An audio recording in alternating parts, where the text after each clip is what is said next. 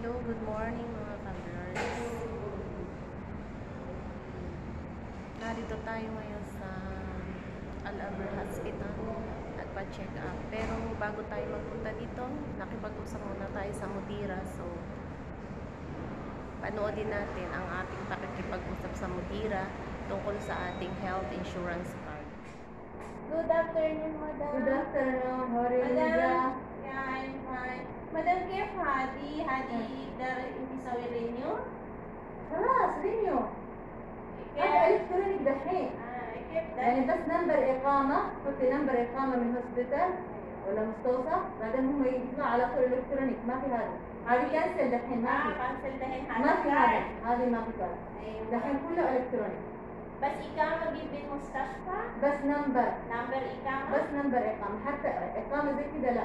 بس نمبر آه، أيوه إيه اللي إيه اللي إيه المستشفى أنا بقى في فريق عامه هتجيلي 7 لا خلاص خلاص خلاص يلا خلاص هلا أنا نروح روح على طول إيش مستشفى عملوا دهين ممكن حسن غزاوي ممكن القدس ممكن العبير ممكن مستشفى جدة جدة جدة ناشونال جدة كورونا أيوه ممكن إيش كمان أيوه. يعني هسبيتال ضمير الابدال فيه. سليمان فتيلة فتيلة ممنوع أيوه بس هذه يعني بس أيوة. كويس هذه كمان حسن غزاوي مره كويس. وجينا غزاوي اوبريشن هذه ده هذه أيوه أيوه, أيوة،, أيوة، بس مو كبير. يعني مو عملية كبيره ممكن أنا أسوي سيساريان ممكن ممكن Kaya kapit kayo. Kasi sabi ako baby. Okay. Mungkin next time, si baby. Intro Philippine, si baby. Aywa. Unti kita ni sa Saudi, bada ni Titi sa unina. Okay. Shukran, madam, dahil na na. Kuraan na rin yung stash pa. Okay, bye. At ayun po ang ating pakikipag-usap sa mudira, hiningi tayo ng explanation tungkol sa ating insurance card. At ah, ano daw ang sabi? Actually, hindi ko rin masyadong naintindihan.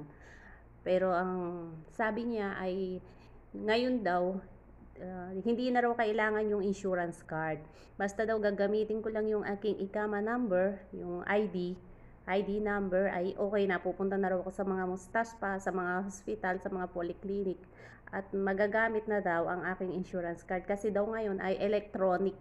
Yung mga narito sa Saudi Arabia, mga narito sa Saudi Arabia ay electronic card na raw ang gamit natin. Hindi na raw kailangan yung mga ah, insurance card.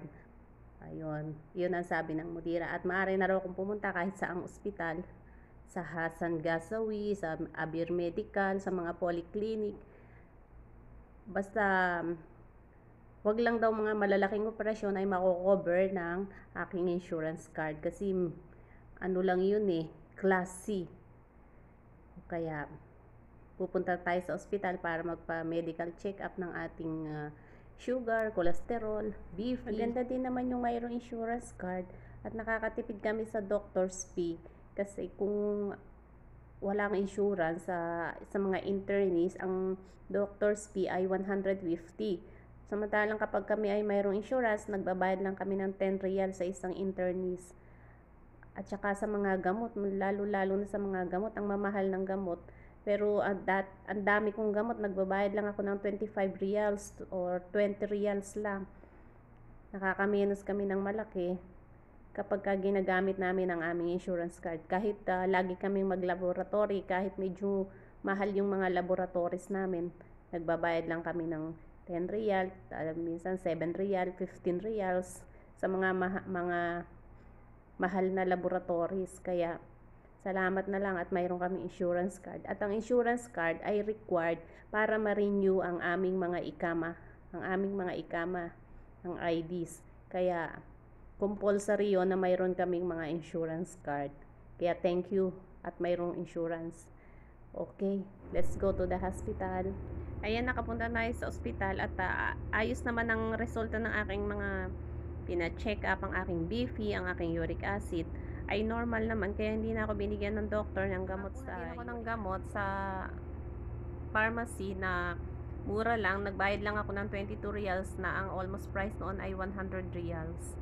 Kaya mainam talaga na mayroon tayong insurance tayong mga OFW na babawasan ng ating gastusin para sa ating sarili.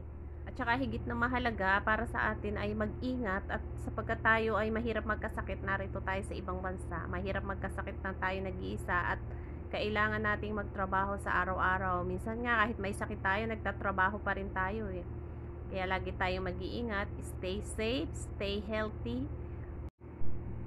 and keep on smiling. Thank you everyone.